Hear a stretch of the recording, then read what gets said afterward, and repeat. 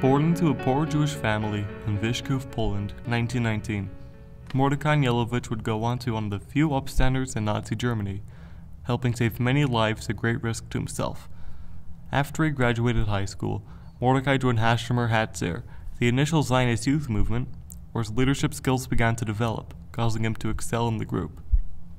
In September 7, 1939, Mordecai Anielewicz moved to eastern Poland in hopes to pass the Romanian border and open a path to Israel for Jews fleeing the Nazi regime.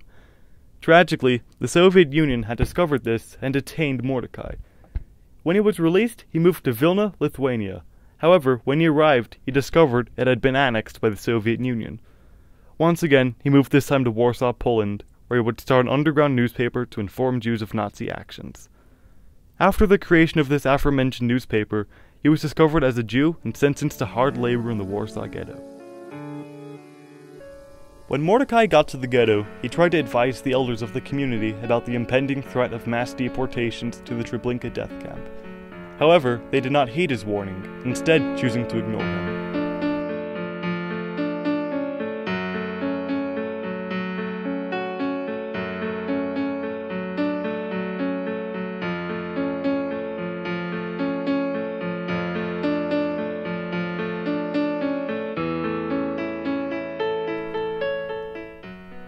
In these horrible conditions, and after 350,000 Jews had been deported to the Treblinka death camp, Mordecai Anielewicz took a second major defiant action against the Nazi Party. However, there was one critical difference this time. Instead of using writing, he would employ violence as his tool of defiance.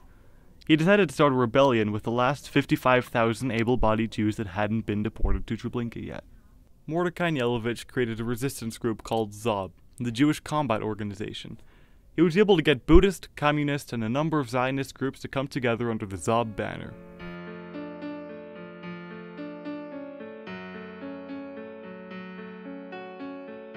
Zob would go on to create a multitude of improvised weapons, such as handguns and grenades. Even more valuable than this, however, was Mordecai's communications and ability to get assistance from the Polish government that was forced to stay in London. Zob had waited and planned their uprising to maximize their advantages. As the last deportation to the Treblinka death camp was taking place, Zob began the uprising. The surprise was enough of an advantage to allow Zob to inflict many casualties in the Nazi ranks. The battles were brutal, bloody, and lasted many days. However, the Zob could not contest the amount of Nazi troops and deal with their superior arms. After 27 days of fighting, Zob was forced to retreat into improvised bunkers. The uprising was still happening, however, and now it had become clear that the Zob could not win the battle. As the last of the Zob fighters were forced to retreat into their bunkers, the Nazis began to burn and gas these bunkers, resulting in the eventual death of Mordecai and many of his compatriots, as well as the eventual end of the uprising.